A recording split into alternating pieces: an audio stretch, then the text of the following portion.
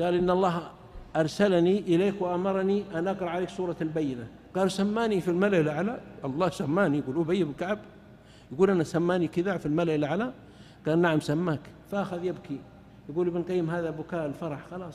ما يقدر يعبر. الله يسميك في الملأ الأعلى؟ الله عند الملائكة عند جبريل وميكائيل وإسرافيل.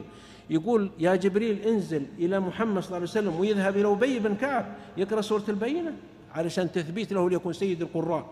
شهادة براءة على أنه الأول في القراءة على أنه المرجعية على أنه الإمام في هذا الفن إلى يوم الدين. فماذا فعل أبي؟ شوف جزاء الشكر. خصص وقتا من الأوقات. قيل بعد صلاة المغرب كله صلاة للنبي صلى الله عليه وسلم. ويخلط أحيانا بدعاء له. فذهب إلى رسول الله صلى الله عليه وسلم. قال يا رسول الله كم أجعل لك من صلاتي؟ أنا عندي وقت أصلي فيه دعاء. كم أجعل لك؟ في الترمذي وأحمد.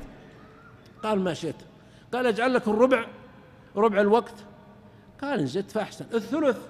قال إن زدت فأحسن. قال اجعل لك نصف. قال إن زدت فأحسن. الثلثين؟ قال يا رسول أجعل لك صلاتي كلها على دعائي. قال إذا يغفر هم يغفر ذنبك وتكفى همك. جزاءك على الله. إذا صليت على رسول عليه الصلاة والسلام أن يغفر الله ذنبك ويكفيك همك. والله جربتها أنا العبد الضعيف وجربه من هو أصلح مني. وأوصاني علماء صالح قال تبغى ينكشف الهم داوم على الصلاة عليه الصلاة الله عليه وسلم. إذا يكفى تكفى همك ويغفر ذنبك. طيب إذا كفاك إذا كفاك الله الهم وغفر ذنبك ما هو الم... ماذا بقي؟